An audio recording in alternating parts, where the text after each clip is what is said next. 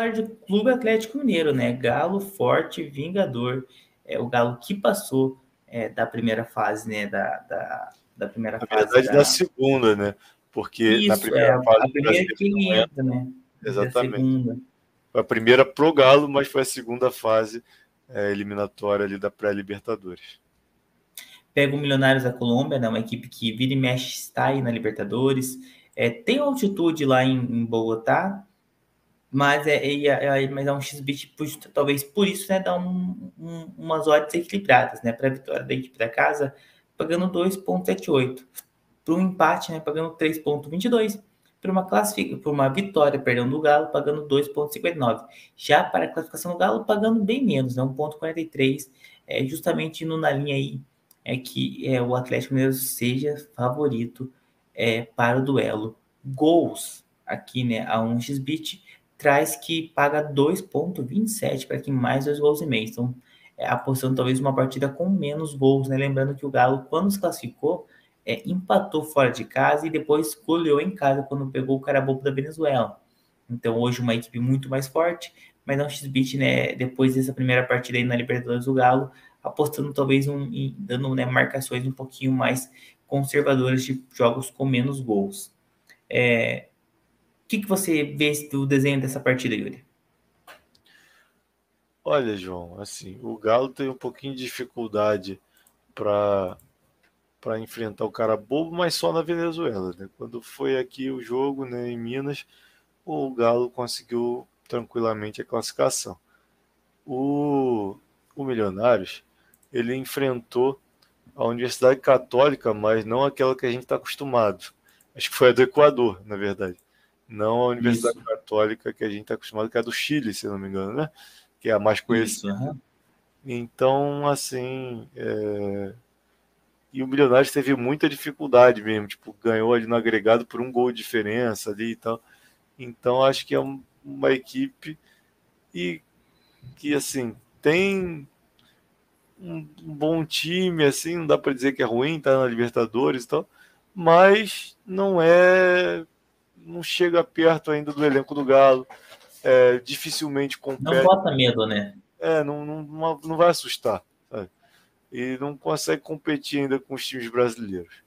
Então, eu acho que o Galo é favorito realmente. Esse jogo, por ser é, o primeiro na Colômbia, tem uma questão aí de que o Galo vai ter que é, fazer essa viagem, vai ter todo esse desgaste por jogar fora de casa, não vai ter o mesmo apoio. Mas assim, é, na, no primeiro jogo, tanto do Galo quanto do Fortaleza, que é o outro time que a gente vai falar mais para frente aí, também aqui no nosso programa, né, mas que são os times que estão jogando na pré-libertadores, ambos tiveram dificuldades e fizeram 0 a 0 fora de casa.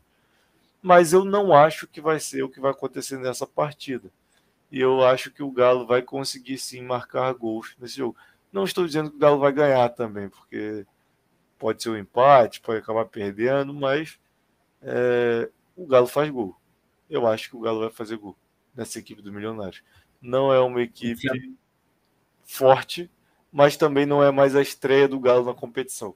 Porque aquele jogo na Venezuela tem que lembrar também que é a primeira partida do Galo na competição, né? Então, é, esse ataque com Hulk, Paulinho, é, do Atlético Mineiro tem muito, muitas chances aí de, de deixar sua marca já nesse primeiro jogo da, da terceira etapa da pré-Libertadores.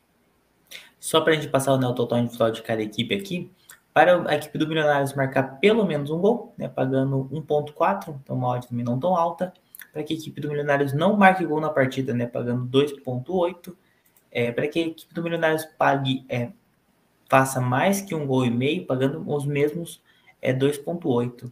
É, já para a equipe do Galo, né, para a equipe do Galo, marque pelo menos um gol na partida, né, pagando 1,34, uma odd é, não tão alta, né, e para que é, a equipe do Galo marque mais do que um gol e meio, né, então marque pelo menos dois gols na partida, pagando 2,55. Eu vou dar uma olhadinha aqui no primeiro tempo, acho que pode ter, uma, pode ter alguma outra marcação bem bacana aqui a gente vê uma marcação para que tenha pelo menos um gol no primeiro tempo, pagando ponto 48, né, mostrando que é, é, aqui é a marcação. Vou dar uma olhada aqui.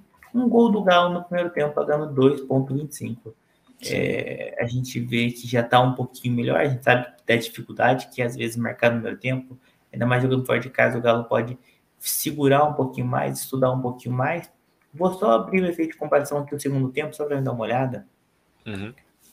O total individual do Galo no segundo tempo, o Galo marque é 1.9, então não está tão, tão diferente. Eu acho que talvez a equipe pode né, marcar no, no segundo tempo, mas fica também esse critério que às vezes é difícil adivinhar. É, sem tantas opções, né, apenas o primeiro e o segundo tempo, eu que escolho o primeiro, né? Então acho que eu já vou ficar por aqui mesmo. Quem falou que é você? Foi eu? Ah, não é você, né? É minha vez, meu amigo. Você tá onde? No primeiro ou no segundo tempo? Tô no segundo tempo. Ah, então eu vou deixar para você. Não tem problema não. Não, não pode. Eu ia nessa no segundo tempo, eu ia nessa, mas eu vou deixar para você. Não, não, você, tem prioridade. Pode, pode escolher o que você quiser.